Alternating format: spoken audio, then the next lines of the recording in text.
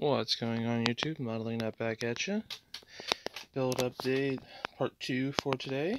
As you can see, we have paint on the Macabre Mobile. So, uh, used Tamiya X1 uh, with a little bit of leveling thinners uh, just to get the base color down. Again, it's not completely shiny. Uh, I do like using the leveling thinners just to have it smooth out a little bit.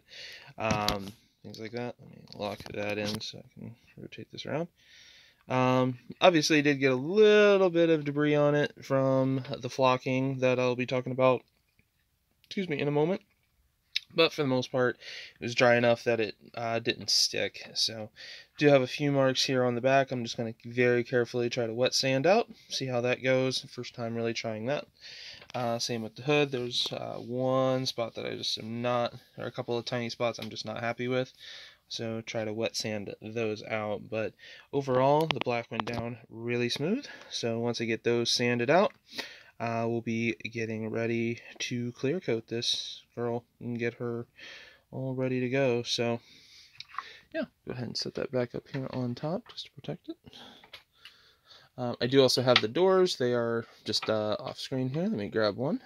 You can see. Doors went down really nicely. Things like that. So, yeah, looking really good. I got the base coat, or the base done as well. Uh, so this is still drying, so I won't pick it up or remove it too much, but um, pretty much used the same technique, but this time I actually used the uh, rapid thinners, just a little bit of that, just to make it dry off a little quicker, make it more of a semi-gloss black. Um, however, uh, as I had done with the battery, went ahead and laid on a thicker coat, so was able to get uh, more of the true gloss black, if I can catch it in the light, there we go, more of a true gloss black, um, as it would be, you know, obviously a hard plastic. So, so yeah, got the battery done as well. Let that dry. Uh, valve covers, you might have noticed as well. Biggest thing that I got done is uh, tonight was the interior. So, uh, what I used was um, a base coat of Mr. Color Tan. So, laid that down first.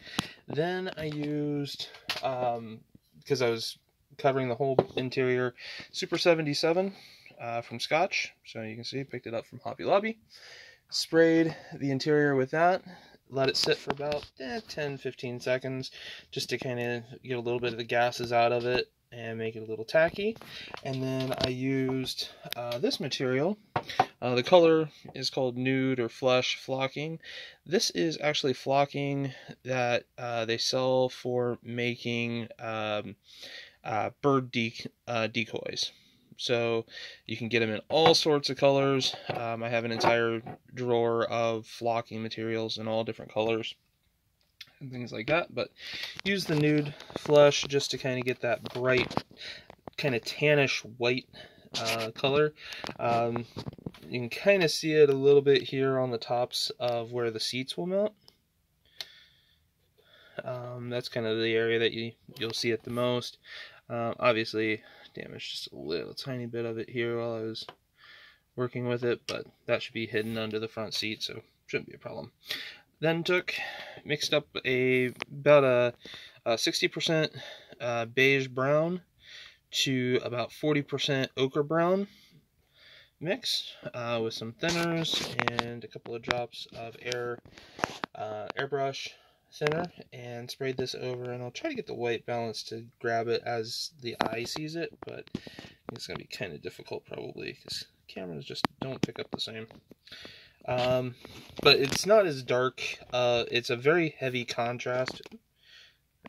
It's a really heavy contrast here on the video. However in real life it's a really um, kind of muted contrast um, once I got done kind of spraying on or putting the getting that color on top of the flock, um, I then came back, you know, probably a good 10 15 inches like this, um, and just used the airbrush again, just misted over the entire thing that dark color just to kind of blend all of the lines and things like that. So Um, so yeah, got the uh, base colors down now for all of the leopard print, cheetah print that will go on. So I also have the two seats, bucket seats, done here.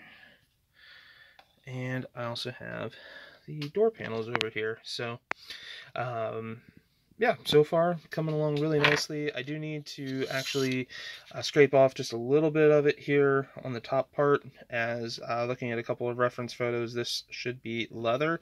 Um, so when I come back to uh, uh, go through and paint the rest of the door jamb and things like that, the, the black, I'll go ahead and mask that off or you know, scrape all of the flocking off and things like that. It'd be too big of a mess to try to do it tonight with the glue still tacky. Um, so give it a day or two and it should be able to scrape off a little easier. So that is pretty much it for tonight. Um, again, a lot of tonight was around getting the flocking material and getting the colors down, uh, just to give them a day or two to dry here. Next step that I'm going to do is using uh, the Vallejo I'll be using beige brown, and there is a German camo brown, which is nearly like a black brown, super dark brown, that really will fit the bill for it. So it's going to be coming in uh, with a thin little brush, uh, thin little brush like this, getting uh, getting some paint on it, and then literally just putting in the hundreds of little dots and marks all over the seats and stuff like that of the print then coming back through uh, with the beige brown uh, to put in the center of every single one as well. So that's probably going to take me, um, you know, an afternoon or an evening just doing that um, at least. So. Uh, but obviously, you guys will come along for the ride with that. Uh, in the interim, I'll probably go ahead and look to get the gloss coat down onto uh, the body of the car and get that drying under a hood. That way, try to keep as much debris off of it as I can. But hopefully, you guys have been have been enjoying the builds again. Uh, probably gonna start doubling up on updates here, just so that I can get this out to you guys uh, with the reveal on Halloween. So, hope you guys are having a good week, and I'll catch you in the next one. Peace.